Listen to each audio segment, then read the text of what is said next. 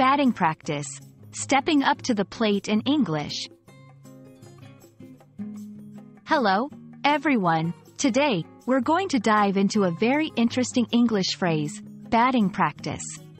This phrase comes from the world of baseball, but it's used in many different contexts. Let's explore what it means and how you can use it in your daily English conversations. Batting practice literally refers to players in baseball practicing hitting the ball before a game. It's a time when batters work on their swinging technique and timing. However, in everyday English, this phrase has taken on a broader meaning. When someone says they're having batting practice, they could be referring to preparing or warming up for any challenging task. It's all about getting ready and honing your skills. Let's see how batting practice is used outside the baseball field. For instance, if a student says, I'm doing some batting practice for my final exams, they mean they are studying or revising thoroughly as preparation.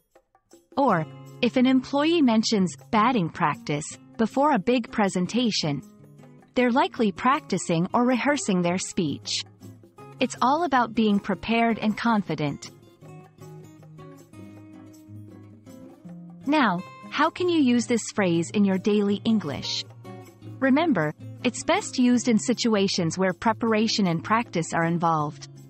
You could say, I need to do some batting practice before our team meeting tomorrow. This shows that you're taking the time to prepare well. Or, this weekend is going to be batting practice for my baking skills, meaning you'll be practicing a lot. It's important to note that batting practice is a phrase more commonly understood in countries where baseball is popular. In countries where cricket is more prevalent, a similar phrase might be net practice.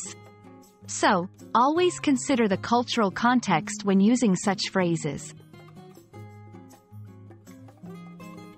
And that's a wrap on batting practice. I hope this video helps you understand and use this phrase more confidently in your English conversations. Remember, language learning is a bit like batting practice. The more you practice, the better you get. Happy learning, and see you in the next video.